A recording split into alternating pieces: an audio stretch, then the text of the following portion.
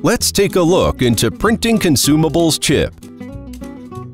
Usually, consumables chip is composed of a PCB, print circuit board, with several components and conductive terminals to physically connect to printer. In addition, some consumables chip use antenna to communicate with printer.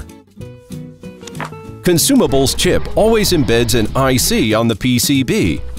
IC's outlook may be soft package as COB or hard package like SOP or QFN.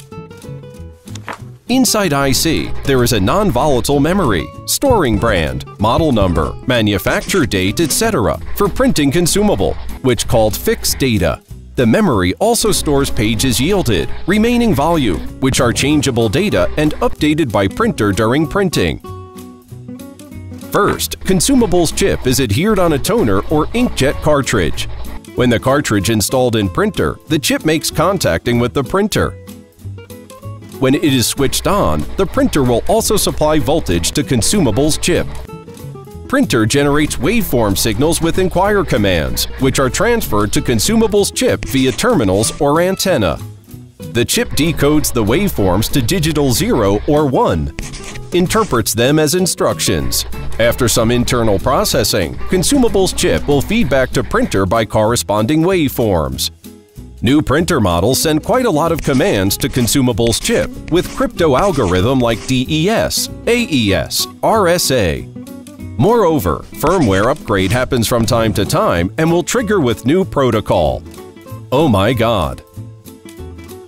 After authentication pass, printer continues to read out data such as brand, model number, remaining volume from consumables chip. When all data matched, the printer will be ready to work. While printing, the capacity bar will gradually drop, and the changeable data like pages counter and remaining volume will be continuously updated and written into consumables chip by printer. When the printer detects there is toner low in cartridge, usually remaining capacity is around 10%. It will prompt the LED blinking yellow, and the printer will write a low flag to consumables chip. As detected remaining capacity of consumable nearly reaches 0%, printer determines it as toner out, triggers the LED lighting red. An empty flag is also written into chip and thus the consumable is generally impossible to print normally. In a word, it's the printer that writes and updates data into consumables chip and not the other way around. At this time, the exhausted consumable should be taken out by subsequently replacing a new cartridge. After printer recertifies the new chip, the fuel volume of consumable is restored to 100%. Now the device can resume to print normally. We strongly recommend you to use PrintRite cartridges with PrintRite consumables chip, high quality and firm stable.